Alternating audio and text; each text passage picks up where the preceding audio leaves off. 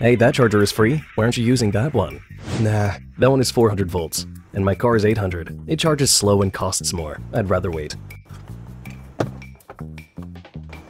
People always rush for chargers, yet now everyone is picky. If you know someone like that, share this video with them.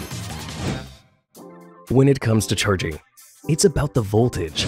Electricity is like water. It flows from high to low. If this cup is a 400 volts charger, it can naturally charge a 400 volt vehicle. But if it's 800 volts, the water can't flow up. So you need to lift the cup. That's DC-DC boosting. Just like lifting water, boosting requires energy.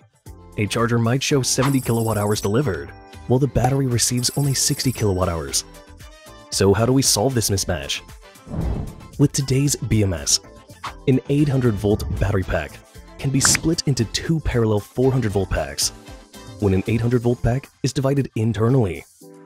A 400 volt charger no longer needs boosting. Losses drop to under 1%. The recently launched Audi Q6L e-tron uses this approach.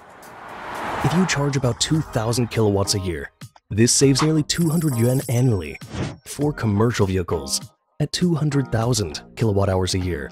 The savings are about 20,000 yuan. In the long run, it all adds up. Since I shared another money-saving tip today, a like and a share seem fair. If you want more tips, let me know in the comments.